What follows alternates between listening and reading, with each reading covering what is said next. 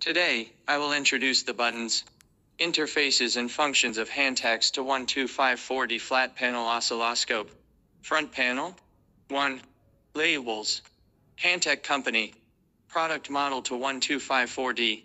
Toe. This is an 800 480 resolution LCD screen. 3. The left part of the LCD screen is the virtual key area. Home. The shortcut key of the main interface.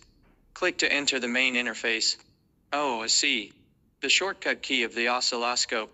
Click to enter the oscilloscope interface. DMM. The shortcut key of the multimeter. Click to enter the multimeter interface. AFG. The shortcut key of the signal source. Click to enter the signal source interface. H, R. Pause or run key.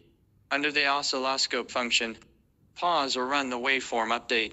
Under the multimeter function, pause or start the measurement data.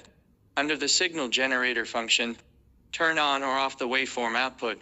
Print. Screen capture function.